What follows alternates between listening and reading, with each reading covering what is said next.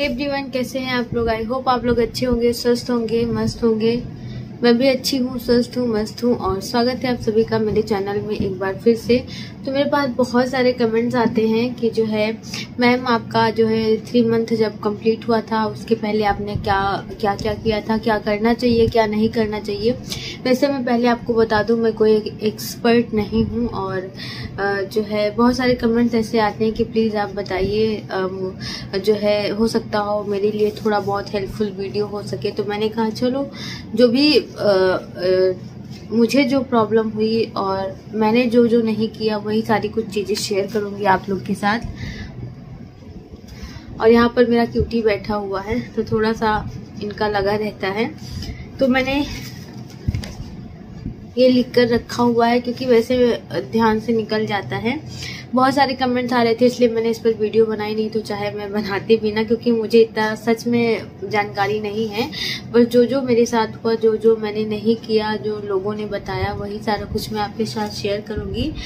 तो पहली बात, जब आपका शुरुआती महीना रहता है तो उसमें क्या कहते हैं, आपका खाने का जो टेस्ट होता है ना, वो चेंज हो जाता है। जैसे कि मैंने इसके पहले एक वीडियो बनाई थी तो उसने बताया था कि मुझे स्मेल बहुत ज़्यादा आती है और खाने में जैसे मुझे रोटी बिल्कुल नहीं पसंद थी।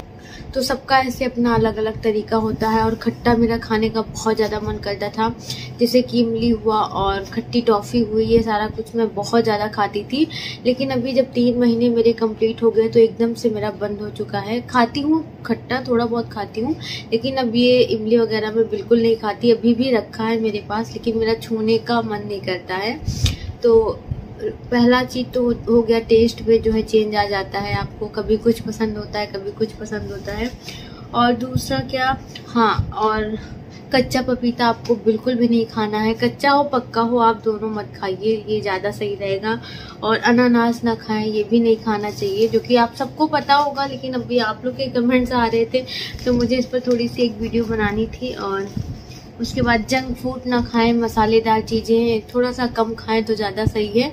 वैसे मसालेदार ना, मेरा तो खाने का बहुत मन करता था। मैं चटपटा, मैं शुरुआत से मैं चटपटा खाती हूँ और अभी तक मैं चटपटा ही खाती आ रही हूँ। अभी के टाइम पर भी मैंने बहुत ज़्यादा चटपटा खाया था और अभी भी मैं बहुत ज़्यादा चटपटा ही खाती हूँ क्योंकि मेरा मीठा, खाती हूँ मीठा लेकिन इतना नहीं, बहुत कम मीठा खाती हूँ।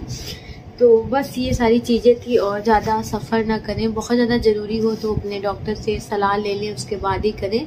लेकिन मेरे टाइम पर ऐसा कुछ नहीं था। कुछ ना कुछ ऐसा हो जाता है कि मुझे कहीं ना कहीं जो है जाना पड़ जाता है।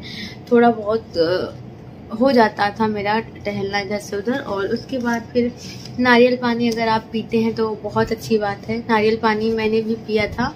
वैसे क्या होता ना कभी कभी आता है, कभी नहीं आता है तो पतिदेव को जब याद आता था तो वो ले आते थे, नहीं तो कोई बात ही नहीं।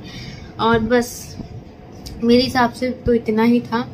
और क्या बस, अभी तो मुझे इतना ही पता है और जब भी मुझे कुछ याद आएगा, आप लोग कमेंट्स करिएगा या आप लोग को कुछ जानना होगा तो बताइएगा। अभी जल्दी में एक कमेंट्स आया था। तो उन्होंने कहा प्लीज़ प्लीज़ शेयर कर दीजिए प्लीज़ प्लीज़ बहुत ज़्यादा उन्होंने रिक्वेस्ट करी थी तो मैंने सोचा, चलो एक वीडियो बना देते हैं। तो ये छोटी सी वीडियो मैंने बनाई है और जो जो मेरे साथ हुआ, वही सारा कुछ मैंने आपके साथ शेयर किया। क्या करना चाहिए, क्या नहीं करना चाहिए? तीन महीने बहुत ज़्यादा खास होते हैं, हमको, हम लोग को भारी चीज़ें नहीं उठानी चाहिए। जैसे प्रेगनेंसी में भारी चीज़ें नहीं उठानी चाहिए, सीढ़ियों पर भारी चीज़ें लेकर चढ़ना नहीं चाहिए तो ये सारी चीज़ें नहीं करनी चाहिए और बस। तो मैंने इतना ही सारा कुछ किया था, लेकिन जो है सब कुछ अच्छे से हो गया है। अभी जो है मेरा फिफ सिक्स मंथ चल रहा है और ये मेरा तीन मंथ का जो एक्सपीरियंस था मैंने आप लोग के साथ शेयर किया।